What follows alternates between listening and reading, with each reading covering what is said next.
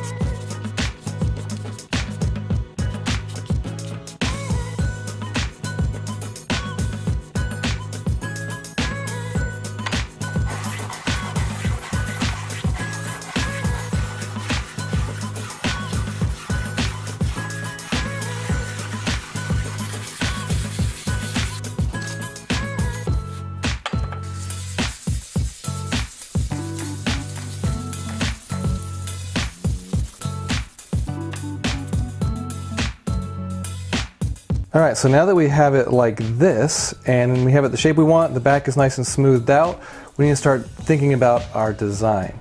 And luckily, I've been working on that already, so I had designed this in Photoshop. I played around with a couple different sizes. I think the smallest one is gonna be the one we're gonna have to use on this guy. So we'll cut one of those out and then get it lined up on our pendant to see how it'll look.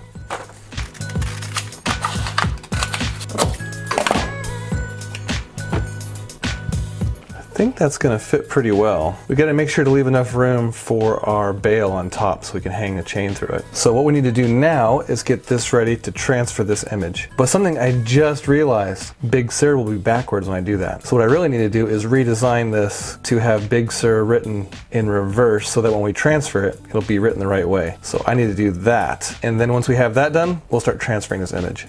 All right, so take two. Now we have a reversed image. We have our dog tag, so it's time to transfer the image onto the dog tag. And since this is a LaserJet printer, we're going to use this Krylon clear glaze to transfer the image. So we're gonna spray it onto our piece, and then while it's still more or less tacky, not crazy tacky, but we're gonna throw the transfer on and anyway, you'll see from there what happens. So the first step is to spray this onto our piece. I'm gonna go ahead and do that outside. All right, so I'm just gonna be using one of the paver bricks out front of my shop to Make sure I'm not stinking the shop up inside. Just get it lightly coated now.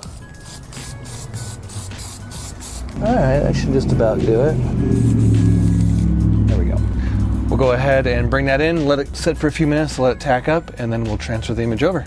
Okay, so now we have this pretty much tacky, but you know, dry still and we have ourselves some nail polish remover. Pure acetone doesn't work as well, so you gotta use something like this, like nail polish remover. And what we're going to do, we're gonna transfer this over, make sure it's nice and even on there, just the way we want it, like so. Once we have it like that, get a nice rag and just daub some of the nail polish remover onto it. And we're going to wet the paper, but we don't wanna drench the paper just wet it. Otherwise the whole thing falls apart.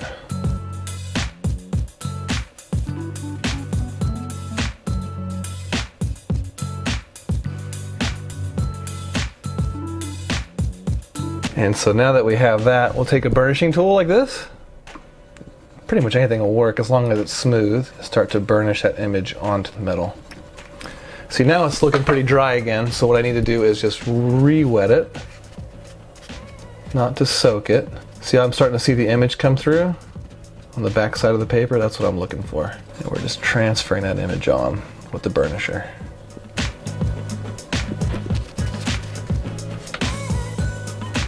Probably good for that side. We'll turn it around. Do the bottom half now.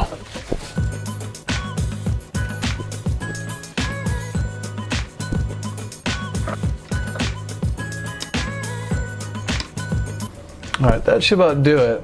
Now, the moment of truth, we gotta get this paper off of there and see if it actually transferred. And if it didn't, you know, start over. Resand the surface and do the whole process over again and you know, eventually you'll get it. All right, let's go take it to the sink and then we'll see if we can't rub this paper off of here. Just wet that and then slowly start to rub the paper. As the paper starts to ball up and go away, the image should stay on the metal.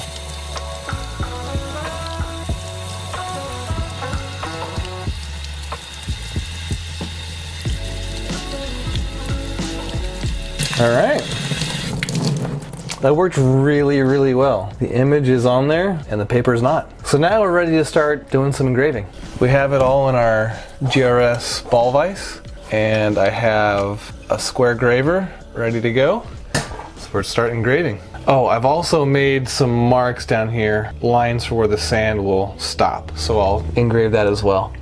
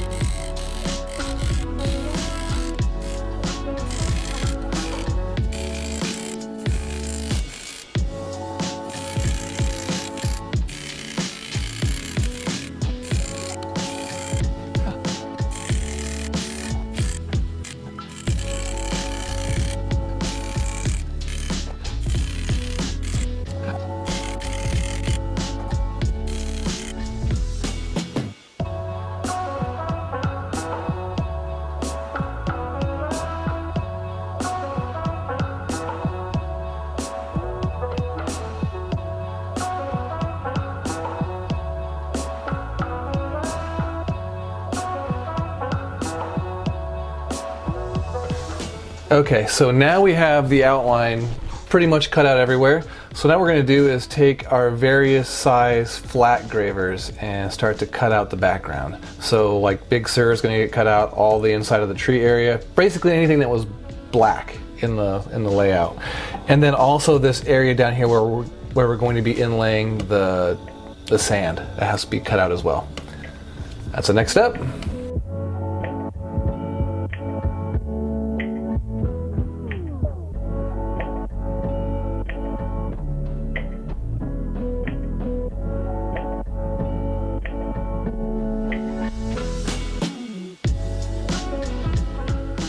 All right, guys, the engraving is pretty much finished. So I think what we need to do now, you know what we should do real quick is put a hole for our bail. Now once that's done, then we will go ahead and start to inlay some sand in there. All right, so if we're going to be drilling a hole in here for our bail, it is a good idea to have our bail first. And what we have are these scraps from cutting the sides off the Morgan. I figured we, you know, you can go buy a bail, you know, it's not that big of a deal, but how much more fun would it be to make one out of the Morgan dollar that we cut up. So let's go ahead and do that. And the way we're gonna do that, roll it out with our Pepe Tools combination rolling mill. Still love this tool. So we'll get this thing rolled out and then we'll get our bail bent and cut up.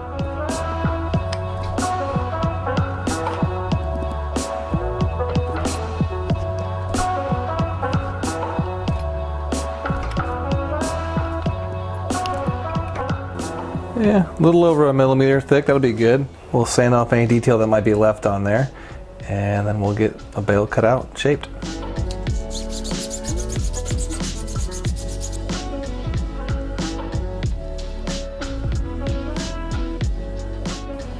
Actually, let's, let's use these. Let's try the bow benders.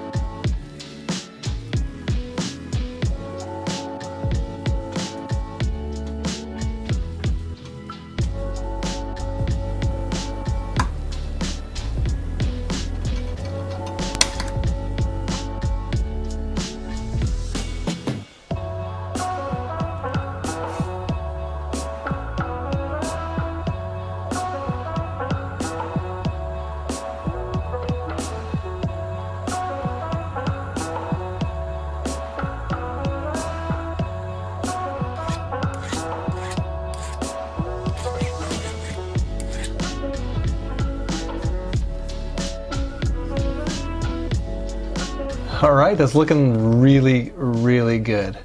So now what we need to do is start working on our inlay now. So once that's inlaid, then we'll do a little bit of stippling in the background of that, maybe a little antiquing, then we'll be done.